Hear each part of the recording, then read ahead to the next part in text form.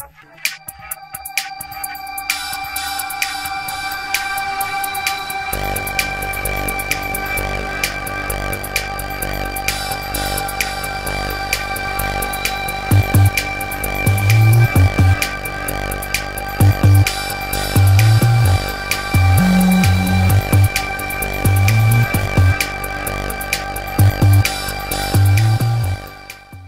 Minn Kota's iPilot and iPilot Link systems are revolutionary navigational tools.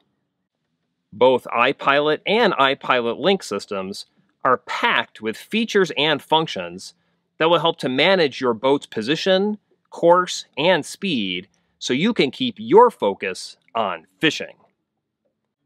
This instructional video will illustrate how to use each of the boat control tools that are native to current iPilot Link systems.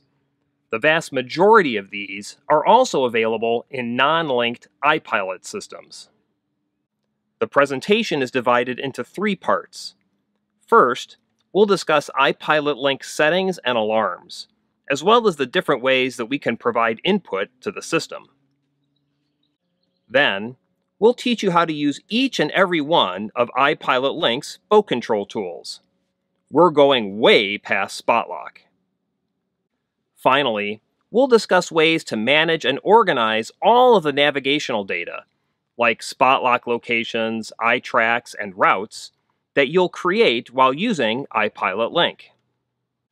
The equipment that you'll see in this video includes a Bluetooth-enabled Minn Kota Ulterra equipped with an iPilot Link system.